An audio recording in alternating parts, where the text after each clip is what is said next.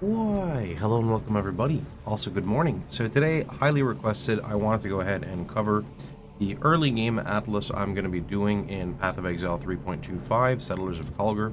Now, I do need to emphasize the early game of my Atlas because I will typically use a specific Atlas for climbing the Atlas and generating raw currency. And then after a couple days, or maybe day two, day three, I'll kind of just pivot into whatever league mechanic, you know, seems fun at the time.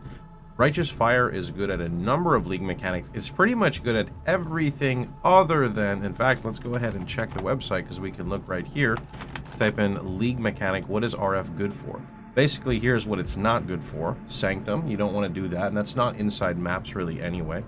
Legion is actually okay after you get some decent explode, but for the most part, RF's not that good of a Legion build unless you're spe like specified for it. And Blight is actually insane specifically with Chieftain, but the other variants are not as good. So, with that being said, you can pretty much farm almost anything that you want. Uh, one other one I'd add on there is don't try to rush T16 Essences right away with RF, because you don't have the best single target, although it's doable. Anyway, let's jump into what I'm doing and how I'm starting. You'll notice right away I take these Betrayal nodes. Ever since they reworked how Betrayal is on the Atlas tree and basically made it so you get crazy high values of league mechanics. This is kind of awesome. What I really like about this is when you are early mapping and you have a literal 40% chance to proc Betrayal slash Syndicate in your map, not only do they give an abundance of XP, they also help work towards your safe houses, which also give XP. And genuinely, even if you don't know what you're doing with them, you are still getting above average loot and you are getting very good experience. For example, just interrogating like the three people that pop up is comparable to like almost the XP of the whole map sometimes, if not more as you get later in. So a very big fan of Betrayal. I don't try to make too much money with it. It's just like a an early game powerhouse sort of. Anyway, from here I'm going to go ahead and move up. And I'm either going to grab the shaping nodes right away or I'm going to go into Kirac and grab Kirac into the shaping nodes. Now, primary reason for shaping nodes in Kirac. These are shaping nodes. They basically give you a chance for your lower tier maps to become higher tier maps. Very important when you don't have your Void Stones, because Void Stones have this effect as well, while also modifying T17s. It's important, though, with Kirac, uh, if you don't like trading, even though we play Trade League, a lot of us don't enjoy stopping, buying one specific map, stopping, buying one uh, specific map. And there are, like, third-party programs for this, but I'll teach you the cheat code. It's called Kirac. All you have to do with Kirac is take enough Kirac, um, basically spawn chance, so you can do the following. Say you're running yellow maps, right? And you, yellow goes all the way from tier 6 to tier 10. And you're like, ah, you know, I only have a tier 6 map and I went all the way up to tier 10. Because you've completed a tier 10, if you have a yellow Kirac mission, you can actually come over to Kirac right over here, right? And you can click this one, and there's a good chance it's going to show tier 10 maps, for example, right? So that way you can kind of maybe go, okay, I don't have to climb all the way back from tier 6. I can go ahead and start back at tier 10 and then hope you get a map drop, for example, right? So this is a really nice thing about Kirac. Not to mention, whenever you do this, it will also completely refresh Kirac's shop. And the reason that's important is he will sell an abundance of all the lower maps and the map tiers you're at, and even some higher. So this way you don't have to worry about going through trade. You can literally just exchange your chance orbs, for example. Chance orbs, alchemies. Later on, it's like chaos, but the early ones are pretty much just chance. So this is where I use the same Atlas strat for SSF and for Trade League just for getting the Atlas completion. Now, remember I spoke about raw currency at the beginning? Raw currency for me is something that picks up later with Expedition. Now, Expedition is essentially a league mechanic where you'll notice I am specking into, actually it's in the next tree, so I won't jump to there yet, we'll talk about the next part, which is the sulfite nodes. Now these are completely optional.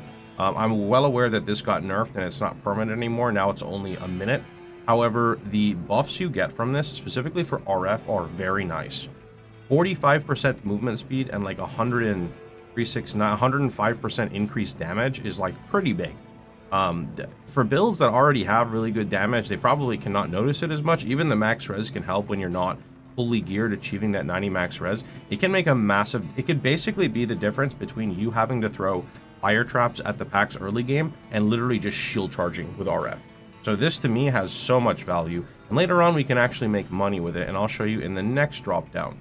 So one other thing to say is uh, you'll notice over here, you can see me coming over and grabbing another Betrayal node. And the primary reason for this is when I am randomly picking Execute, they're getting more than one rank, so they're getting two ranks, which TLDR just means more safe houses, which is the next part.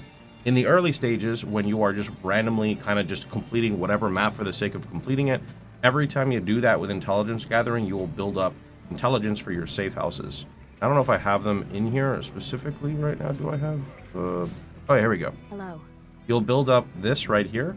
And essentially, when you run these, you just get an insane amount of XP, and then you'll push Catarina. But we're not making a betrayal guide specifically. This is just a low effort explanation, kind of.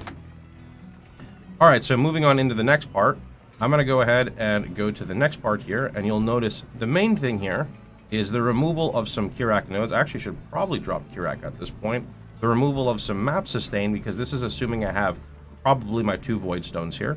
And you'll see I filled out Expedition, and I also started filling out Shrines. Now, the reasoning for Shrines is quite literally, I just enjoy them. That's what it comes down to. At the end of the day, you still have to enjoy your mapping experience. I love strong boxes, I love shrines, and even Expedition is pretty fun. Speaking of Expedition, I'm going to go ahead and show you how you do Expedition. So step one, you're going to want to make sure... Oh, actually, Bob's actually do damage. I kind of I kind of made this character a lot weaker just to make sure it's like a, a more accurate example here. So this node here in Expedition, Extreme Archaeology, all that really means is when you place this bomb, right, this bomb will just essentially be one bomb and hit this whole area. And as long as it doesn't say immune to fire on here, for the most part, you are good. There are some other things you want to pay attention to, such as uh, mobs cannot be ignited. That'll kind of prevent your chaining. And there is a very high chance you die during this because of modifiers like mobs gain physical damage, extra chaos, guaranteed crit, crit against enemies on full life, penetration. It's very rippy. But with Chieftain, your goal is to pretty much just explode proc. So there's a good chance I die here. There's shock ground as well for like 37% increase. But I'm going to show you what we do. We hit detonate.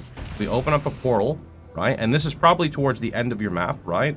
Um, so if you have shrine buffs, you don't have to go ahead and leave. So this is kind of debatable on what you find. But usually at this point, I'm clearing out my inventory. And then when my inventory is done, I go back into the map. And now your goal is to just trigger the Chieftain Explode. The only other thing you need here is Ignite Spread either on your gloves, you can get a Cluster Jewel, or you can get a Berek's Respite, for example.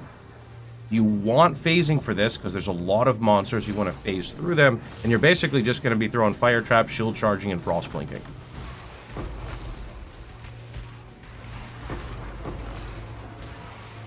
We actually didn't even get an explode proc there, and it's still okay.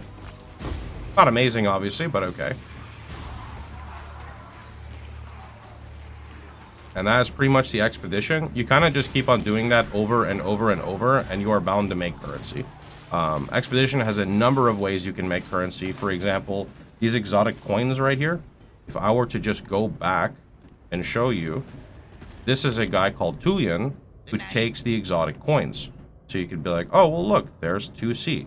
And you kind of just can keep doing that. Occasionally, when you drop a logbook, you can either run it. I personally just sell it. And that's pretty much how I get the guaranteed currency at the beginning. The stuff that Tujen gives you is so good for climbing your Atlas because you need those chance orbs, you need the chaos. Chaos has more value in early stages of the game because divine orbs are cheaper. So the chaos you're getting from Tujen has more value. And then later on, it sort of equalizes. Anyway, that's pretty much about it. I'll give you guys some updates with new atlases that I am running a little bit later.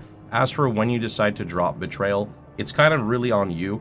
I think that uh, what happened last league is people got a bunch of uh, Veiled Orbs early on, and they weren't worth a lot. They were worth like 30C, and then people got fed up with it. They're like, I don't want to do this anymore, and then they shot up to like 7 Divines. So I personally also want to go with the Lotto gamble of getting Veiled Orbs, and then saving them, and then selling them later into the league, maybe like a week or two. Anyway, that's pretty much about it. I'll have the PoE planners linked in the description down below. I'll also have a link to this video on my website. So don't forget, the website is the central focus point for pretty much everything for me PoE related. So you'll find like the Chieftain Guide here, and you'll find an Atlas right here. I'll just update this. Anyway, catch you guys all later. Thanks everyone so much for watching. Hope you guys enjoyed the video. If you did, please feel free to like, share, and subscribe. And don't forget, you can catch me streaming live every day at twitch.tv slash Pohx. See you guys all tomorrow.